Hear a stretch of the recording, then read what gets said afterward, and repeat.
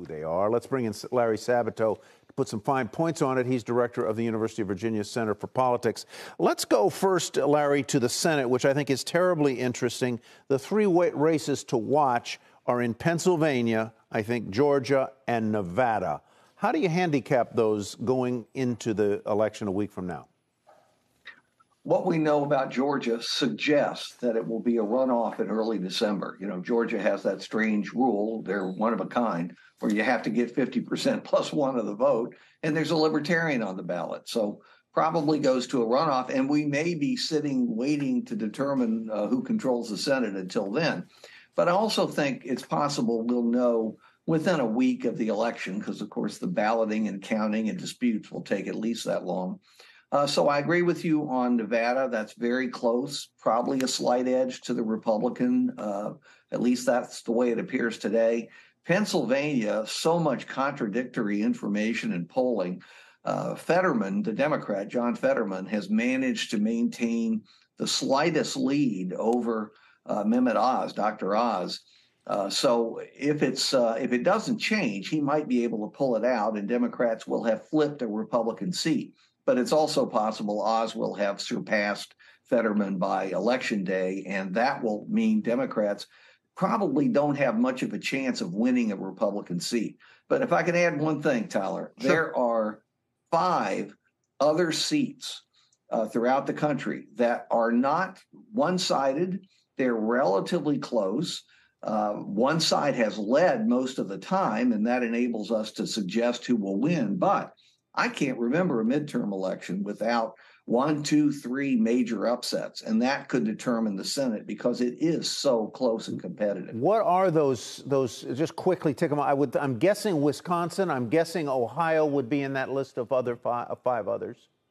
You're correct on both of those. Uh, North Carolina would be in that list. Mm-hmm. Uh, personally, I lean all of them to the Republicans, but the one that seems to be most competitive uh, is uh, North Carolina, followed by Ohio, uh, Wisconsin less so. And then on the Republican side, uh, Senator Mark Kelly from Arizona, who's led pretty consistently, doesn't lead by much. And the Republican candidate for governor there, Kari so, Lake, has been leading most of the polls. So those are the wild cards. We don't know about those. But let's assume that Nevada goes the way you kind of suspect Laxalt. Um, Pennsylvania, let's say it goes uh, towards Fetterman, then you've got a net gain of zero for either side. Who knows about these wild cards? But then it all comes down to Georgia, doesn't it? Yes, and, and because of Georgia's rules, we all, especially the candidates and the people in Georgia, have uh, another full month of misery, uh, hundreds of millions of dollars of TV ads, you know, wild charges, negative charges of all sorts, and you know, eventually they may change that rule. It'd probably be wise. Mm-hmm. So, Larry, just to dig into this a little bit more, I realize I got a little bit of a nail biter here over the next week and potentially plus month, based on what you just laid out.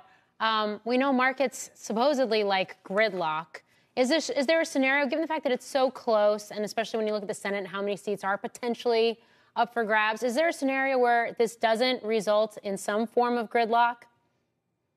No, because remember, you got the House, and the odds are mm-hmm. pretty substantial that Republicans will take over the House. So that's automatic gridlock. You only need one House of Congress to be controlled by the party opposite to the White House, and then a president is pretty much reduced to vetoes and executive orders, you know, and threats of various kinds. Uh, and that's uh, that is the probability. Now, if the Senate goes Republican too, then Biden is really behind the eight ball. Though he gains something for 2024 because presidents are often reelected if they have a devil figure in Congress, if they can run against Congress because the other party controls it. Mm-hmm. Really quickly, Larry, what are the things that matter most to voters turning out in this election right now? Oh, by a mile, it's it's inflation. Okay. There are good sides to the economy, but it's inflation, no question about it. A Dobbs decision overturning Roe v. Wade would be second. That's in the Democratic direction, but it's not nearly where inflation is in the list of voter concerns. Okay. Larry Sabato, thank you for joining us. Shepard Smith here. Thanks for watching CNBC on YouTube.